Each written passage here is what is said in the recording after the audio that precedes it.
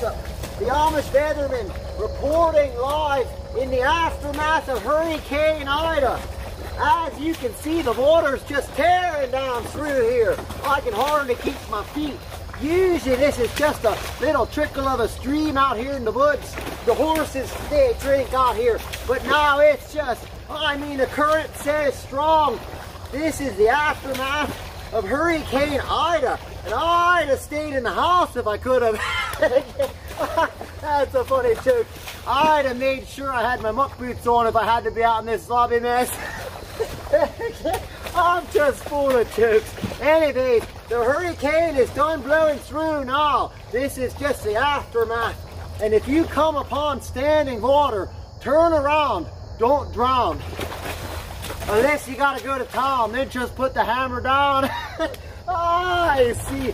Anyways, you're gonna be okay now for the next few days. The water's gonna keep going down and it won't be, see, it won't be, I can't even speak trying to keep my feet here. It won't be so hangish windy anymore. You can see the wind is just whipping around. I mean, it is just hangish windy out here. I'm trying to get a job with the weather channel, so I gotta make it seem like it's terribly bad. It's terribly windy. I mean, it's the wind's just blowing around, and it's a, a bad hurricane. Anyways, this weather report is brought to you by Equalite.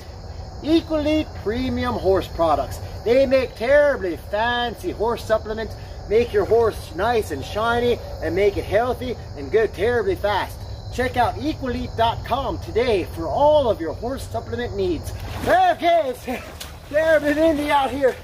Anyways, this is Jacob, the Amish Weatherman, reporting live from Lippman County, Pennsylvania.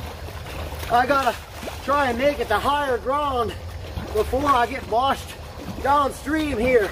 So if you come up on that standing water, turn around, don't drown. Unless you gotta get to town then put the hammer down.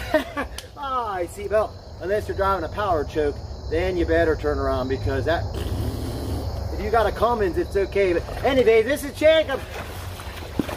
Out to you later. It's hanging windy out here.